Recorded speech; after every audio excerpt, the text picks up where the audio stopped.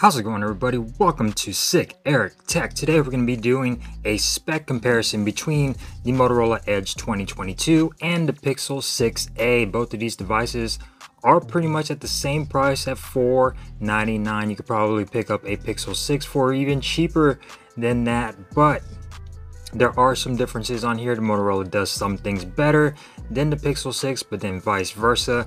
So we're gonna go on over the specs. Before we do, go ahead and subscribe and click that bell icon that we get notified on future videos on Sicerik Tech like the one you are about to watch today. So let's jump down into it. Motorola Edge 2022 versus the Google Pixel 6a.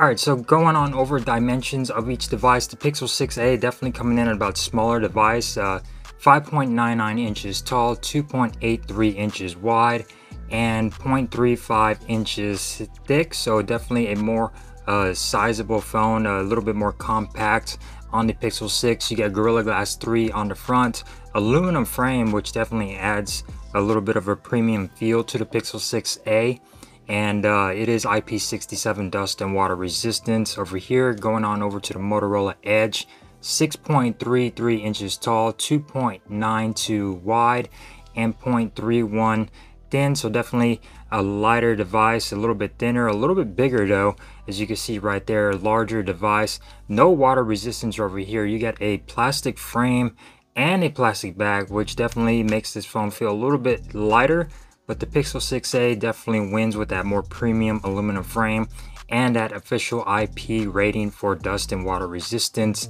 going on both of these. So I think uh, the Pixel 6 build quality might win, but I prefer the finish of the plastic back on the Motorola Edge just because it has that matte finish. It just looks nicer than the glossier finish on the Pixel 6a. Over to display, the Pixel 6a is a 6.1 inch uh, OLED display supports HDR 1080 by 2400 you only get uh, 429 pixels per inch over here on the Pixel 6 and it is only a 60 hertz refresh rate. You do have an always on display as well which is very very nice. You get your in-display fingerprint sensor which I think is in a perfect spot for this phone. And uh, display is quite nice over here. You get uh, decent bezels on the Pixel 6a as you can see a little bit of a chin on the 6A. And uh, like I said, uh, only 1080p, uh, 60 hertz refresh rate on the 6A. Going on over to the Motorola Edge, you get an OLED, 6.6 inch OLED. It supports the 1 billion colors, 144 hertz refresh rate, and it also supports HDR10 plus. So you're getting a better display on the Motorola 1080 by 2400 with 399 pixels per inch. You also do get an in-display fingerprint sensor and it is going to be an optical just like the Pixel and it is a little bit lower on the device but it's still pretty quick and definitely a lot faster than the Pixel 6a. You do get a peek display so no always on display on the Motorola Edge. So as far as displays go I think the Edge uh, takes the edge over the Pixel 6a being a a higher refresh rate, 144 hertz, and a better panel in my opinion. Definitely gets a lot brighter than the Pixel 6a. Uh, the 6a is running Android 13 officially. You get your Google Tensor chip and your Mali G78 MP20 GPU, 6 gigabyte 128 storage, no uh, micro SD card expansion, UFS 3.1 storage at that. Going on over to the Motorola, running Android 12. It is planned to get Android 13. You get the MediaTek Dimensity 1050 chipset with the ARM Mali G610 MC3 GPU. This is the uh, this is the 8 gigabyte 128 gigabyte variant. Again, no micro SD card support over here. As far as performance wise, the Motorola is doing a lot better than I thought it would. It's a very fast and snappy device compared to the Pixel 6. The Pixel 6a is pretty snappy in my opinion, but the Motorola just feels faster with that higher refresh rate and uh, definitely has a little bit more RAM. So it feels like a very nice device over here on the Motorola. No stuttering, no nothing. While over here in the Pixel 6a, you get a little bit of stuttering here and there. But performance wise, I would say the Motorola is actually beating the Pixel 6a. Going on over to the cameras over here, the Pixel 6a has a 12.2 2 megapixel camera with an aperture of f1.7.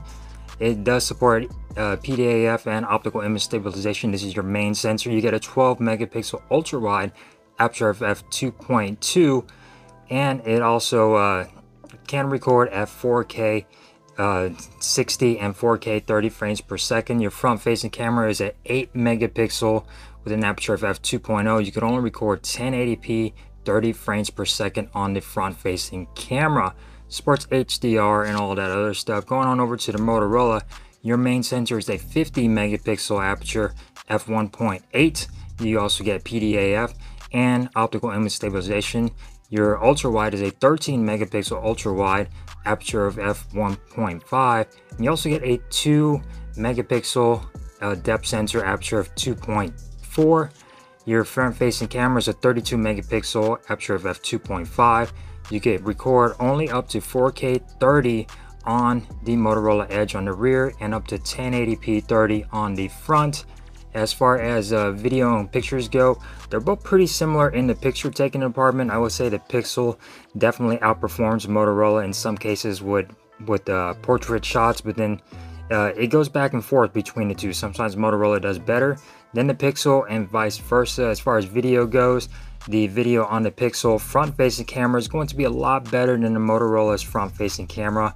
The Motorola's camera on the front is not that great. It does not perform well, especially in the video department. Video come out uh, extremely blown out on that front-facing camera. Rear cameras they do trade blows as far as being better than the other. Uh, sometimes the Pixel takes a better shot than the Motorola, and sometimes the Motorola takes a better shot than the Pixel. You'll probably be seeing some pictures flash on your screen uh, of the uh, these two devices side by side and exactly how good their photos come out taken on each of these devices. Uh, both of these do have stereo speakers. The Motorola Edge does support Dolby Atmos while the Pixel 6 does not. As far as speaker quality goes, let's go ahead and take a look on each device and to, that way you guys can hear the difference between both of these and their speakers.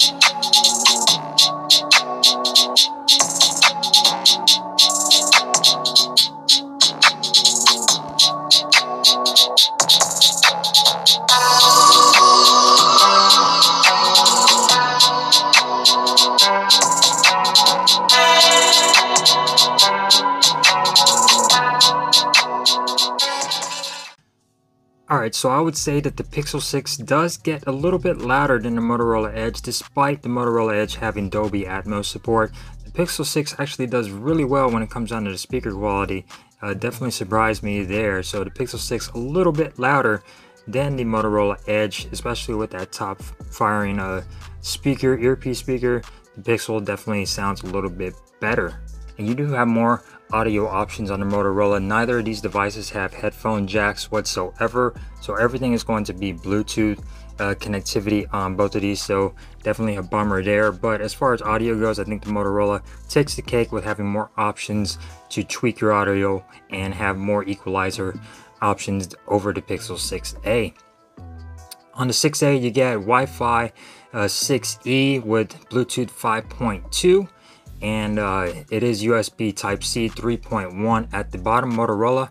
It does support Wi-Fi 6E as well, Bluetooth 5.2 as well, uh, USB Type USB-C Type 2.0 on the Motorola, so definitely a little bit older uh, on the Motorola. Both of these, like I said, have in-display fingerprint sensors, and I think the uh, Motorola definitely a lot faster than the Pixel 6a when it comes down to unlocking the device. The Pixel 6a tends to fail a lot compared to the Motorola. You do get facial recognition on the Motorola, no facial recognition on the Pixel 6a, so that's definitely a win for the Motorola.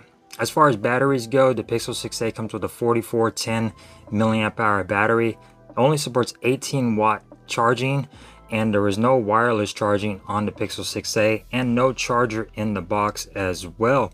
The Motorola on the other hand has a 5000 milliamp hour battery, supports 30 watt charging and has wireless charging with reverse charging as well. I was not expecting wireless charging on this Motorola device. I put it on a charger and it started charging and really surprised me. Uh, wireless charging on a Motorola device is just crazy to me. Again, no charger in the box, so you're gonna have to get a 30 watt charger to charge your device or just charge it wire wirelessly at 15 watts. So both of these devices definitely have their strong suits on each one. They're both pretty much the same price. The Pixel 6a came out at about the same price as the Motorola Edge did and uh, I think the uh, Pixel 6a definitely better with the camera department but the Motorola Edge uh, is definitely better with that display tech and performance it's definitely a lot faster and the display is a lot nicer than the Pixel 6a plus you get extra perks like uh, wireless charging but then over here on the Pixel you get that Google camera with their uh, computational photography on the Pixel was definitely blows the Motorola out of the water when it comes down to taking pictures. But then, like I said, the Motorola feels faster than the Pixel 6a and has a better display. So it's it depends on you if you want a better camera or if you want better performance. Uh, it's all up to you. I just go over the specs for you to guys to uh, determine for yourselves which one you might want to pick up. So thank you guys for watching. Hopefully you enjoyed this spec comparison between the Pixel 6a and the Motorola Edge. Two fantastic devices. Uh, they're not going to break the bank when it comes down to pricing. And uh, thank you guys for joining me. I will see you next time. Peace.